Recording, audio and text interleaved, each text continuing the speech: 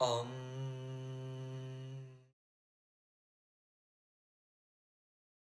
This is a non-invasive brain-computer interface. Non-invasive BCIs have a ton of applications, from diagnosing epilepsy to assisting with meditation. They can capture EEG brainwaves using electrodes that can detect voltage fluctuations coming from the brain. However, a huge problem faced by these brain-computer interfaces is the presence of noise. Physiological noise, which comes from eye blinks and muscle movements, as well as external noise, which comes from the environment. The current methods to denoise these EEG brainwaves is usually done in two parts. Artifact detection, which figures out where the artifacts are, and artifact removal, which removes the artifacts. The problems with the current methods are that they're very computationally expensive, or they require a reference channel. Some of them only denoise one type of artifact. The paper, Denoising Time Series Data with Asymmetric Generative Adversarial Networks, proposes a fully automated end-to-end -end system for denoising EEGs. It can also be trained using unpaired training examples. Why is this important? Well, in terms of EEG data, we don't have clean versions of noisy EEG samples. We only have noisy EEG samples and clean EEG samples, meaning we can't use a regular supervised learning algorithm to do this. Fortunately for us, we have CycleGANs. Let's say we want to map an image from domain A to domain B, say from zebras to horses. We'll have two generators, one for each domain. One is called F, which maps from domain A to domain B. The other one, G, maps from domain B to domain A.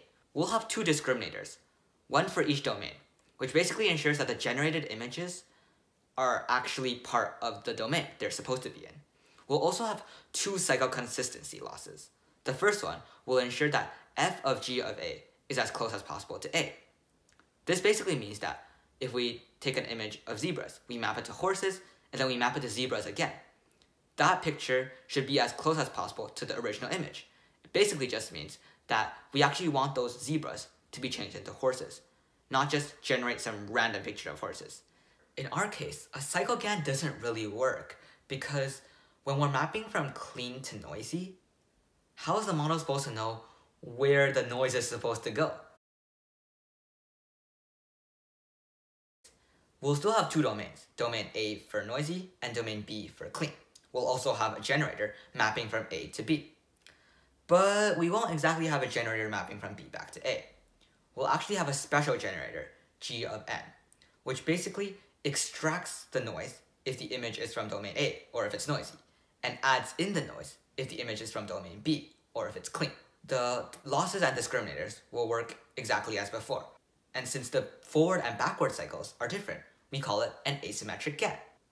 To determine whether the network was successful or not, the researchers used two methods, one of which was to create a synthetic dataset and the other was to use actual EEG recorded brainwaves. For the synthetic dataset, the researchers added together sine and square waves, each with random periods.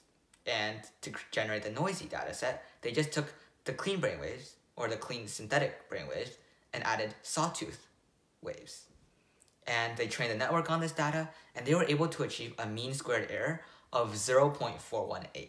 For the second method, researchers took a US Army research lab dataset. The results were first measured qualitatively. The research data they took was when patients were asked to blink every two seconds.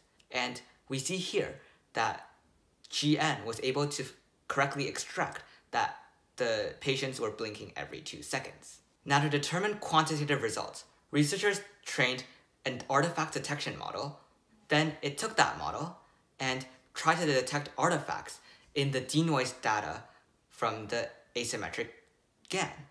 And by determining the error based on the percentage of windows that still contained artifacts, the AGAN was actually able to achieve an accuracy of 97.39%. So this asymmetric GAN is actually pretty crazy. It's the first end-to-end -end and fully automated system we've seen for denoising EEGs. And it's pretty good too, because it's accurate, doesn't require a reference channel, and isn't too computationally expensive. Future work would be to try it on other types of artifacts and see how well it performs. So I'm super excited for what this has to bring for the future of brain-computer interfaces.